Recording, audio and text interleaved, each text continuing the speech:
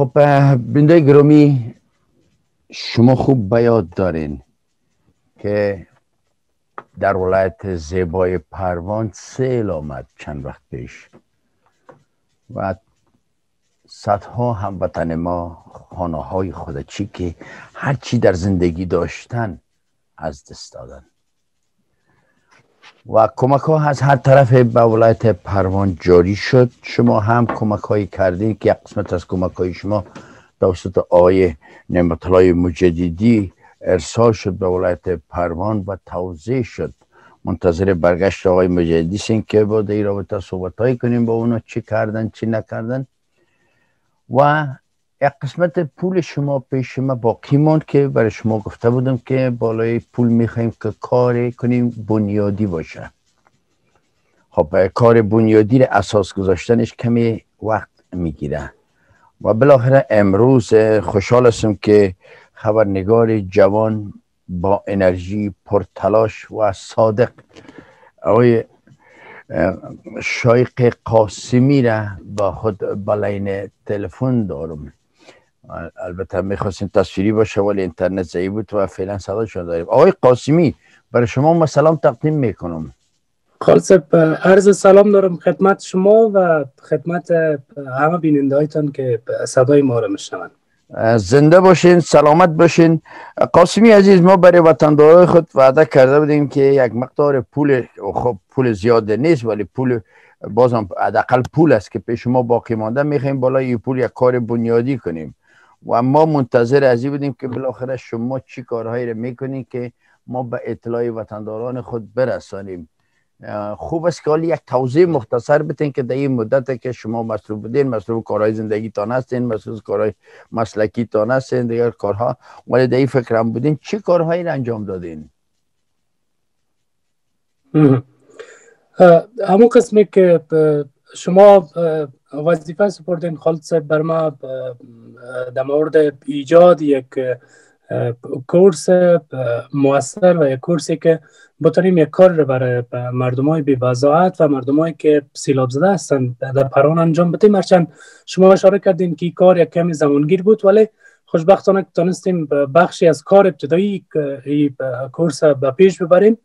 و حالا در حدود سی تن از مردم های بی البته کودک های بی نوجوان ها دیگه. گفتم می‌تونیم که نوجوان های بی که آسیب پذیر از سیلاب ها بودند خانه هایشان ویران شد در سیلاب ها و در کل یعنی بی بزاعت بودند و دسترسیشان به پول و امکانات زندگی کمتر بود.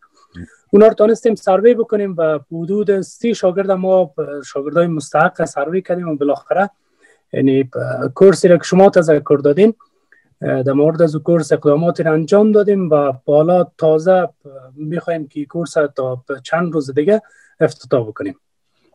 بسیار خوب. در این کورس چی چیزایی شما در نظر گرفتین؟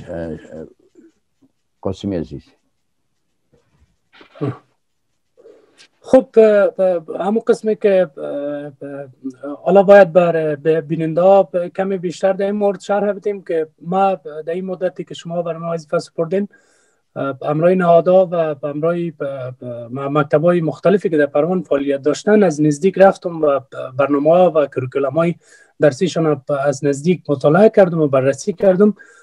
تا ای که ما بتانیم یک چیز جامعتر و به یک چیزی که یعنی چوکات زندگی از اینا رو تحت پوشش قرار بده انجام بدیم. بالاخره تصمیم ما شد که ما یک کورس تازه که اساسش در پروان گذاشته میشه.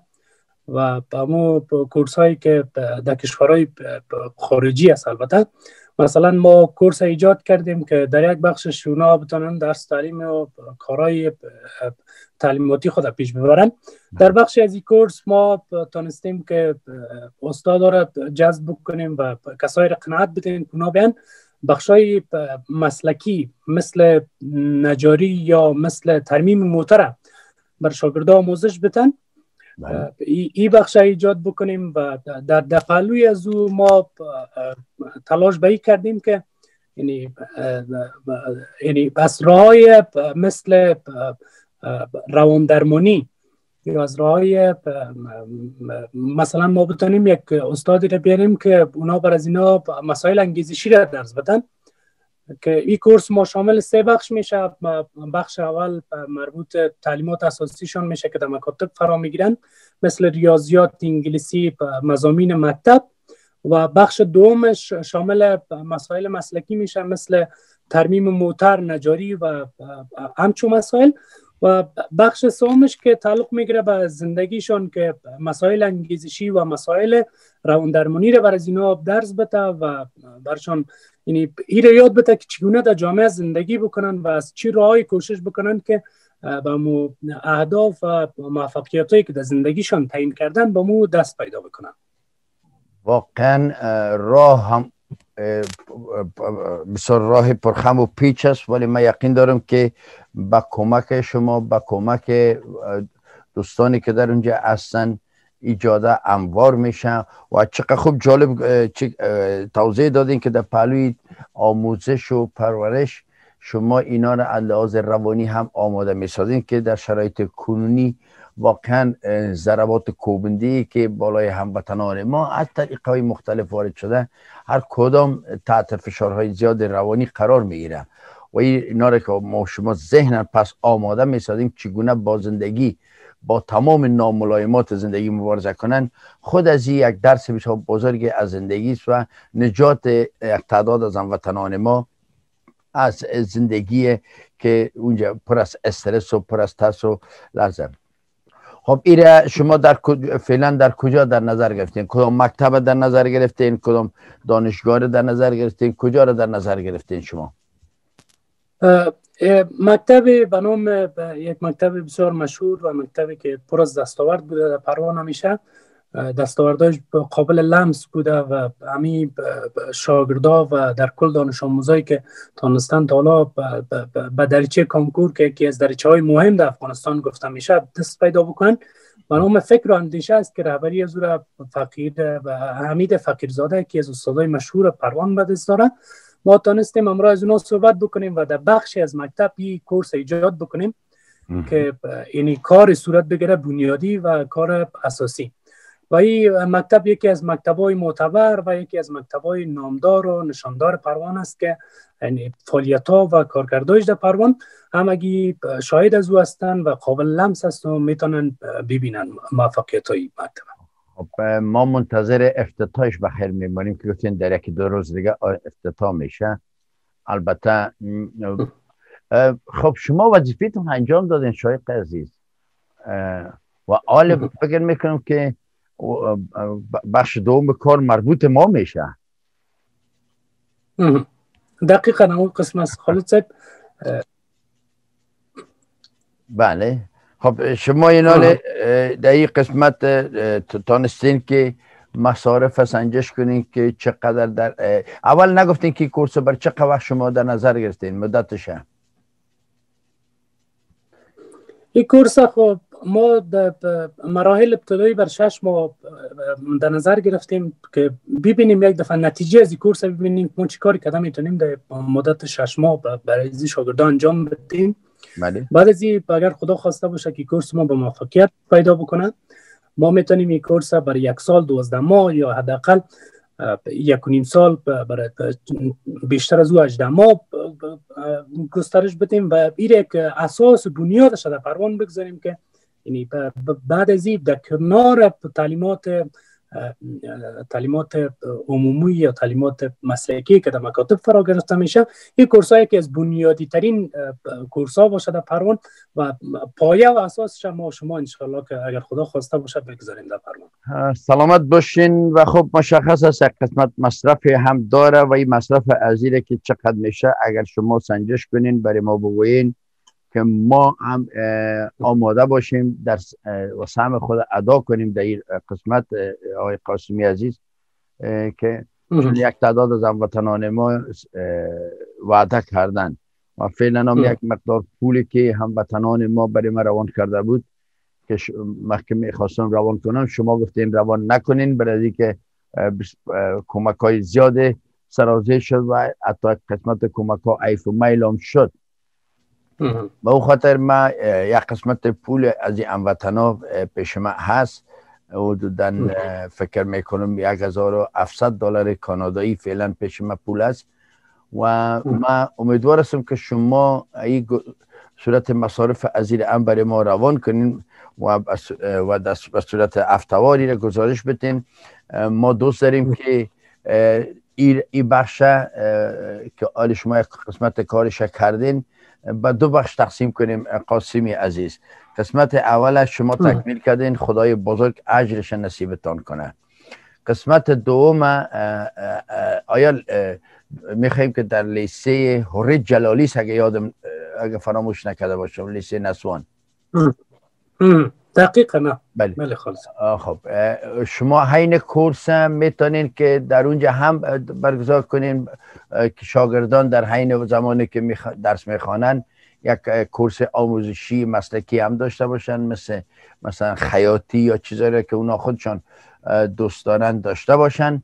تا ما بتانیم به این شکل هموطنان خود از اینجا حمایت کنیم و امی سلسله را ما ادامه بتیم به دیگه ولایت افغانستان همونطور که ما همیشه از طریق تلویزیون گفتیم تا خود ما دست به دست هم نتیم و وطن خود نسازیم و وطنداران خود آماده با سازی وطن نکنیم 20 سال گذشته برای ما ثابت ساخت که بیگانه برای ما نه برای ما کمک می‌کنه و نه وطن ما را می‌سازن بلکه و ایران تر شدیم و تباتر شدیم. شما صورت مصارف به صورت ماور قاسمی عزیز برای ما روان کنین و ما هم مسئله را با هموطنان خود در میان می‌گذاریم. و انشالله که در یک سفر که واقعا دست از این لازم میگم که سفر پر از دست آورد می باشه ما در کنار شما و وطنداران عزیز خود می باشیم یک چیز ویدیوی گرامی می خواهیم که در همین قسمت از قاسمی عزیز برای شما یاد کنم. چرا؟ ما با می جوان تعهد بستم و چرا می‌خوایم که هر کاری را که ما مثلا اگر ما و شما در پروان انجام بتیم توسط شایق قاسمی جوان صادق انجام بده. اون دلیل چیز بینداگرامی که یادتان است که یک دخترک بود که تمام خانواده خود از دست داد و یک فیلم از قاسمی عزیز گذاشتن به صفحه فیسبوک خود و ما هم نشر کردیم. و شما هم آجل برای ما پول آوردین و ما پول روان کردم. و تقریبا نمیفهم چقدر بود شاید قاسمی عزیز یادشان باشن و این پول ما روان کردم برای قاسمی عزیز و برای من بالاخره زنگ زد. آقای قاسمی گفت که خالد عزیز این دختر خانم رفته به کابل بردنش و من چی تلاش کردم پیداش نکردم و این پول تا حال پیش ما هست. یعنی برای من بسیار صادقانه می‌تونست بگه که پول من رفتم تسلیم کردم ما اونجا کدام گزارش کرده دیگه نداریم تایید کنه همین صداقتش همین ایمانداریش در برابر احساس مسئولیت شایق قاسمی در برابر وطنداران عزیز ما و مثلا در برابر پول که زود شخصیت را تغییر میته مرا وادار ساخت که تمام کارهایی که ما در ولایت پروان انجام بتیم توسط آقای قاسمی انجام بدیم. قاسمی عزیز همیشه موفق کامگار و سربلند باشیم منتظر این میمانیم که برای ما شما یک صورت مصارف قربانتان بله. قربانتان سلامت باشین. خالص به مو قسمی که بر شما تذکر دادم. یعنی کوشش می‌کنیم به عنوان یک جوان رسالتمند و به عنوان یک جوانی که درک می‌کنیم مشکلات وطن و معضلاتی که در وطن وجود داره. حداقل مو دین ایمانی و وجدانی خود به گونه اساسی انجام بدیم. و این لطف شما از بسیار زیاد کوچک نوازی کردین. قربانتون. سلامت باشین. خالد زنده باشین. سلامت باشین. پس ما منتظر از می باشیم که هفته آینده که بخیر کارهای شما افتتاح شد برای ما هم یک صورت مصارف بفرستین تا ما کارهای خانگی خود اینجا انجام بدیم. بسیار زیاد تشکر خالص. ان که بتونیم به بله. ممنون از شما که با ما بودین قاسمی عزیز. بخیر باشین خالص. سلامت باشین.